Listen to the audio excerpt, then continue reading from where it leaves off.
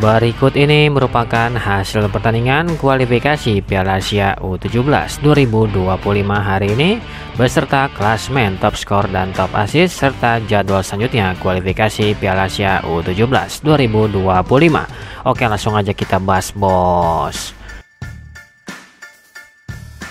Berikut hasil kualifikasi Piala Asia U17 2025 hari ini, Senin tanggal 21 Oktober 2024. Pertandingan antara Timnas Maladewa versus Timnas Butan harus puas bermain imbang dengan skor akhir 2 sama.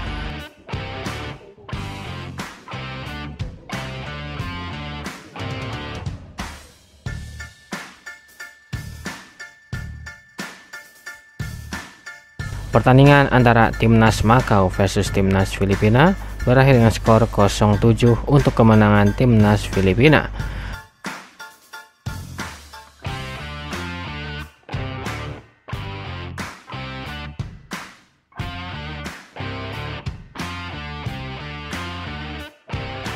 Pertandingan antara Timnas Bahrain versus Timnas Cina berakhir dengan skor 0-2 untuk kemenangan Timnas Cina.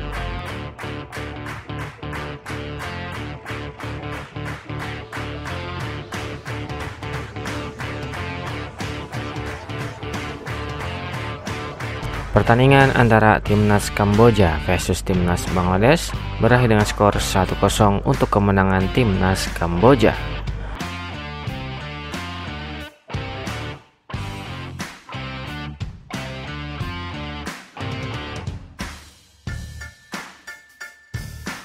Pertandingan antara Timnas Suriah versus Timnas Jordania berakhir dengan skor 3-1 untuk kemenangan Timnas Suriah.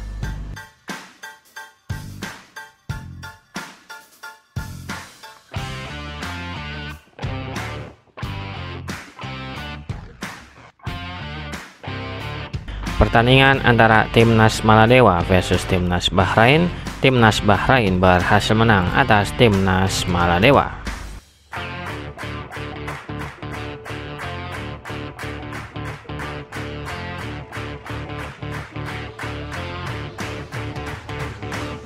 Pertandingan antara Timnas Filipina versus Timnas Afghanistan, Timnas Afghanistan berhasil menang atas Timnas Filipina.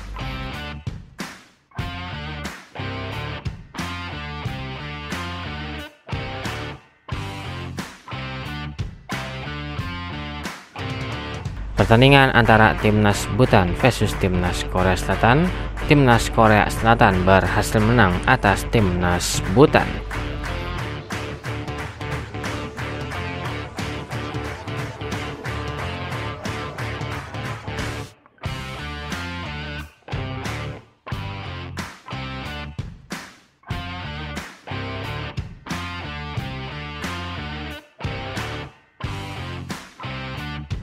Berikut daftar top skor sementara kualifikasi Piala Asia U17 2025 di hari ini.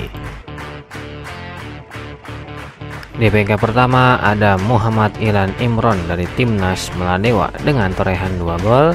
Dan peringkat kedua ada Aros dari Timnas Afghanistan dengan torehan 2 gol.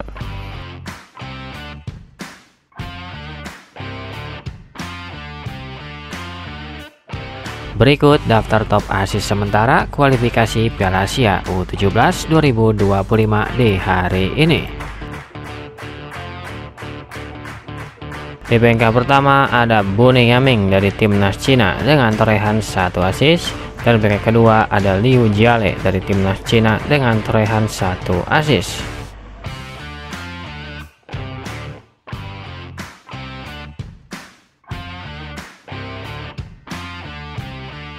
Berikut daftar klasemen sementara kualifikasi Piala Asia U17 2025 di hari ini. Untuk grup A di peringkat pertama ada Timnas Korea Utara dengan torehan 3 poin. Di peringkat kedua ada Timnas Suriah dengan torehan 3 poin. Di peringkat ketiga ada Timnas Iran dengan torehan 0 poin. Dan di peringkat keempat ada Timnas Jordania dengan torehan 0 poin. Selanjutnya untuk grup B di peringkat pertama ada timnas Afghanistan dengan torehan 3 poin. Di peringkat kedua ada timnas Kamboja dengan torehan 3 poin. Di peringkat ketiga ada timnas Filipina dengan torehan 3 poin. Dan di peringkat keempat ada timnas Bangladesh dengan torehan 0 poin. Lalu untuk grup C di peringkat pertama ada timnas Korea Selatan dengan torehan 3 poin. Di peringkat kedua ada timnas Cina dengan torehan 3 poin. Di peringkat ketiga ada timnas Bahrain dengan torehan 3 poin. Dan di peringkat keempat ada timnas Maladewa dengan torehan 1 poin. Selanjutnya untuk grup D terdapat 4 negara. Di antaranya adalah ada timnas Thailand, ada timnas Brunei Darussalam, ada timnas Turkmenistan, dan ada timnas India.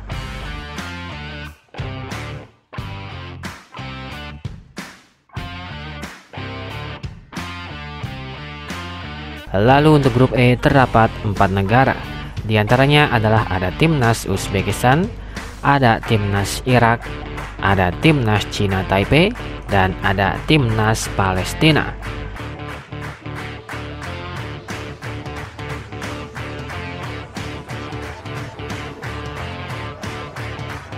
Selanjutnya untuk grup F terdapat empat negara. Di antaranya adalah ada timnas Jepang, ada timnas Qatar, ada timnas Nepal, dan ada timnas Mongolia.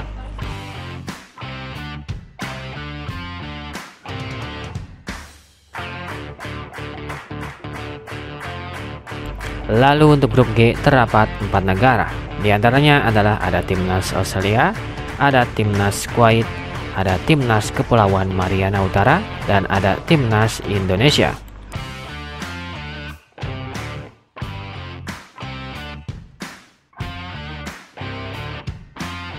Lalu untuk grup H terdapat tiga negara.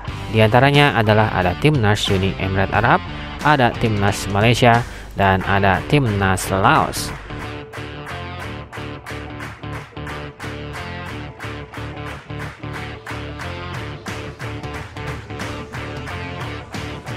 Selanjutnya untuk grup I terdapat empat negara. Di antaranya adalah ada timnas Yaman, ada timnas Kyrgyzstan, ada timnas Myanmar, dan ada timnas Vietnam.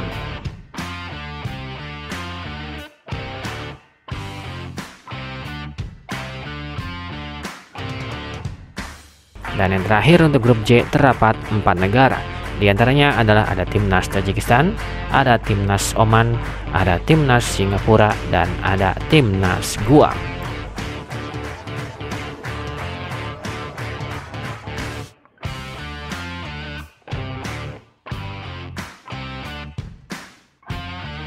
Berikut jadwal pertandingan selanjutnya kualifikasi Piala Asia U17 2025 di hari ini. Selanjutnya pada hari Senin tanggal 21 Oktober 2024 akan ada pertandingan antara Timnas Makau versus Timnas Kamboja pada jam 19.00 waktu Indonesia Barat dan akan dilanjutkan dengan pertandingan antara Timnas Hong Kong versus Timnas Iran pada jam 21.00 waktu Indonesia Barat. Selanjutnya pada hari Selasa tanggal 22 Oktober 2024 akan ada pertandingan antara timnas Korea Utara versus timnas Suriah pada jam 1 dini hari waktu Indonesia Barat.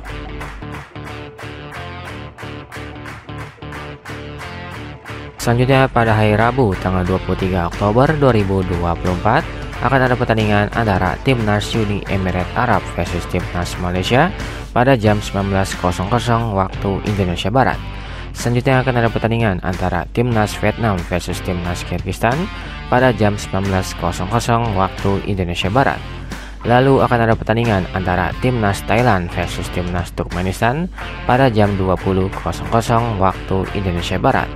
Selanjutnya akan ada pertandingan antara timnas Jordania versus timnas Hong Kong pada jam 21.00 waktu Indonesia Barat dan akan dilanjutkan dengan pertandingan antara timnas Indonesia versus timnas Kuwait yang akan digelar di Stadion Jabir Al Ahmad Kuwait pada jam 21.00 waktu Indonesia Barat live di ECTI dan Vision Plus.